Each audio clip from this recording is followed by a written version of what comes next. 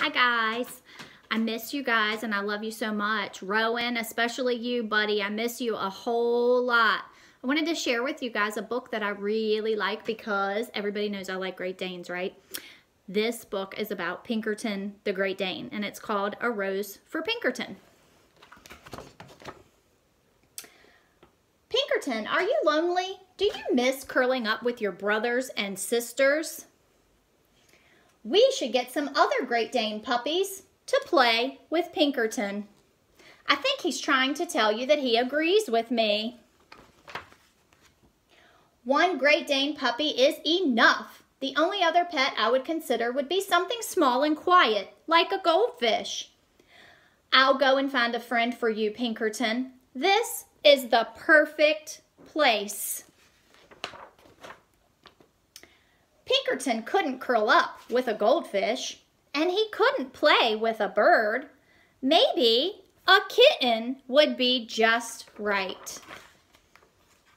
It says here in my book that Great Dane puppies and kittens can become good friends.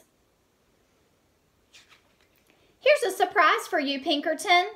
Her name is Rose. It says in this book by Sarah Chattercat that Great Dane puppies and kittens can become good friends. He seems to like her. Rose took over Pinkerton's sunspot. She's eating his dinner. I think Rose wants to be a Great Dane. Oh no. Now Pinkerton is trying to be a kitten. Let's go back to that pet show. I have a few questions for Sarah Chattercat.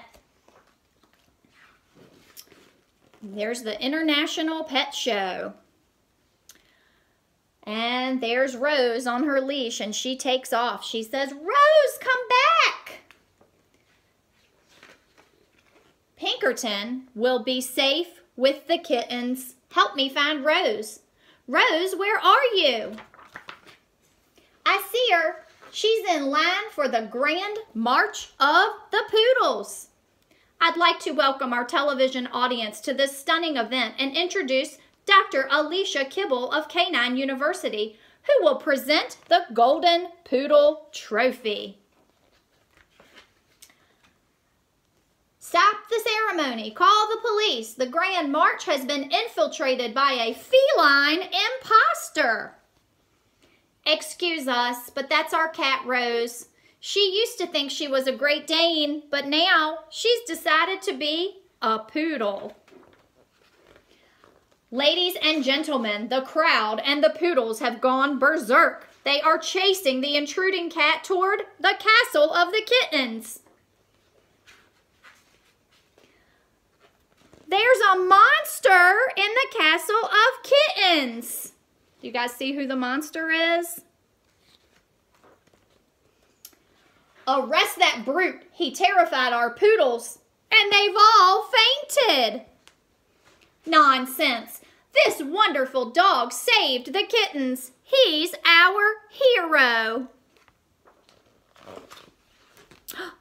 Look, it's Rose. Does she still think she's a poodle?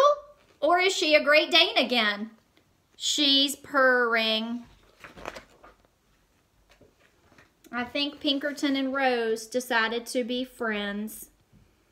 And just so you guys know, Swayze is very good friends with the cat that we have, and his name is Salvatore. And every now and then, Salvatore will hiss at Swayze and scares him, and Swayze will tuck his tail and hide behind his mommy.